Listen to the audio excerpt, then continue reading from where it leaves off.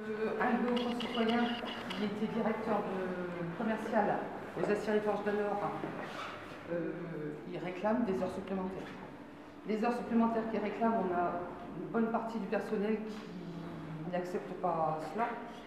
L'avocat de monsieur Maître Collin qui disait qu'on ne pourrait pas gagner euh, en cassation du fait que le- les délais avaient été, euh, comment, été passés. Et il s'avère que c'est pas vrai. que L'avocat en question n'avait pas dû bien regarder son dossier parce que le pourvoi en cassation est passé. On a aucun souci là-dessus. Voilà, donc euh, ce qu'on veut, c'est que la justice nous entende, nous écoute euh, surtout et que les heures supplémentaires ne soient pas payées. Parce qu'on sait très bien qu'il y aura une liste de licenciés. Donc dans un premier temps, M. Poit s'est engagé à ce que ce soit les plus anciens qui sont proches de la retraite, euh, d'abord sur la base du volontariat. Mais bon, on ne sait pas comment ça va aller. Et en plus, donc, il a critiqué la gestion euh, des Forges d'Anor depuis qu'il était parti. Mais bon, le problème, il était depuis un certain temps, puisque en tant que délégué, on a été plusieurs à, soulever le problème à M.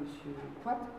En tout cas, ce que je peux vous dire, je peux le dire au nom de tous les élus fourmisiens, y compris même les membres de l'opposition du conseil municipal, et notamment M. la jeunesse qui est présent, qu'on est très sensible justement à l'inquiétude que vous manifestez aujourd'hui. Hein. Et je veux quand même vous témoigner toute notre solidarité dans votre combat.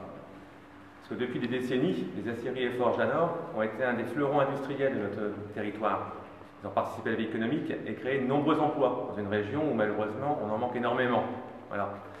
Et c'est grâce quand même à une technologie de pointe dans les alliages haut de gamme et puis aussi un savoir-faire du personnel qualifié l'entreprise a su perdurer.